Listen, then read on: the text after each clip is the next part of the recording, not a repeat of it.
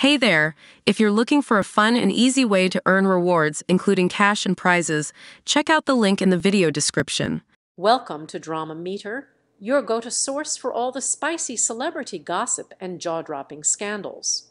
Today, we're diving deep into the latest bombshell revelation from Lisa Vanderpump about Tom Sandoval's new relationship. Stay tuned as we crank up the drama meter and spill all the tea, content warning, brief mention of suicide.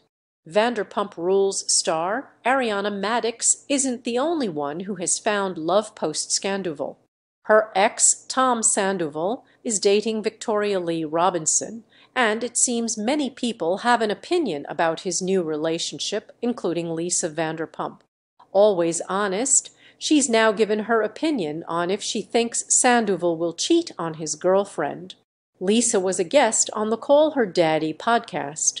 She explained why she was so anxious about Sandoval's condition. I wasn't on Tom's side at all, but I was on the side of empathy. And when the whole world was against him, I've talked about this many times, sitting at the White House Correspondents' Dinner, and they bring it up. Sitting at Adele's concert, they bring it up, Lisa said. The punishment didn't fit the crime. And I mean, of course, I don't condone what he did in any shape or form, but I think when the whole world's against you sometimes it's a very dangerous thing, for as I saw in my brother, and you feel there's no way out, she stated. He has a girlfriend now, right? Host Alex Cooper asked. Lisa replied, yes. Now we know where this train is headed. How can do you think he's going to cheat on her? Alex asked. Lisa's answer was unexpected. Yes, she said, laughing.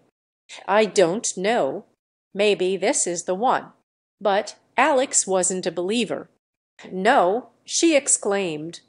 Maybe this is the one, Lisa repeated. Only time will tell.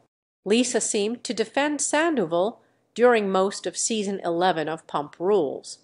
Some of the cast claimed that Lisa showed more concern for him than Ariana.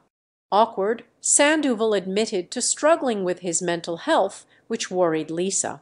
She lost her brother, Mark Vanderpump, in 2018 to suicide.